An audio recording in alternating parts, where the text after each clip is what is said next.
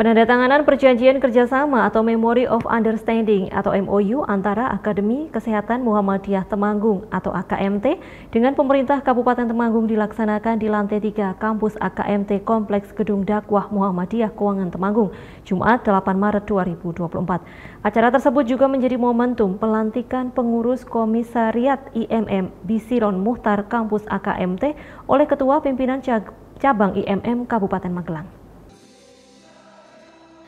Penandatanganan MOU antara AKMT dan Pemkap Temanggung serta pelantikan pengurus Komisariat IMM dilakukan pada Jumat 8 Maret 2024 dalam acara yang dihadiri oleh berbagai pihak termasuk Ketua Pimpinan Daerah Muhammadiyah, Majelis Dikdasmen, Ketua DPD Ikatan Mahasiswa Muhammadiyah Jawa Tengah dan Pimpinan Daerah Aisyah, Dr. Galih Herlambang selaku Direktur AKMT dan Samsul Hadi selaku Asisten Bidang Kesraseda Temanggung menandatangani MOU MOU tersebut.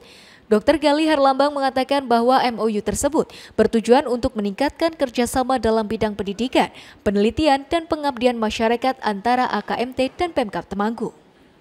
Ya, uh, jadi untuk kegiatan penandatangan kerjasama antara AKMT dan pemerintah Kabupaten Temanggung ini, uh, implikasinya adalah nanti ada tiga kegiatan, yaitu sesuai dengan tridharma perguruan tinggi, yaitu penelitian, kemudian pendidikan dan juga pengabdian masyarakat. Nah, uh, turunan dari kerjasama ini nanti AKMT bisa bekerja sama dengan instansi pemerintah, baik itu OPD, Dinas Kesehatan, kemudian RSUD sebagai wahana tempat pendidikan, kemudian Puskesmas sebagai tempat wahana pendidikan, juga penelitian, dan juga pengabdian masyarakat di desa atau kelurahan di wilayah Kabupaten Temanggung.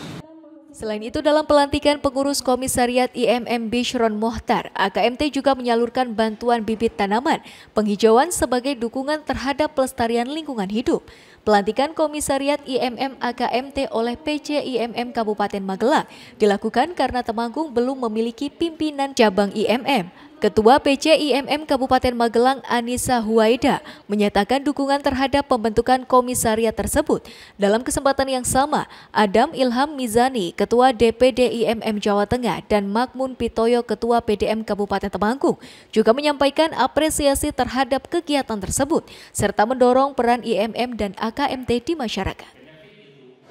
Kalau di Jawa Tengah untuk sementara ini ada 21 cabang sudah berdiri lama, salah satunya di di kota Magelang ini, dan ada sekitar 125 komisariat lebih Pak, di seluruh Jawa Tengah. Asisten Bupati Temanggung Samsul Hadi juga memberikan dukungan penuh terhadap kemajuan AKMT dan peran IMM dalam perkembangan pendidikan di Temanggung. Pemerintah daerah sangat apresiasi karena kita tahu dan kita sangat mafhum bahwa yang namanya keberadaan perguruan tinggi itu merupakan pengungkit ekonomi yang luar biasa. Senang melaporkan untuk Temanggung TV.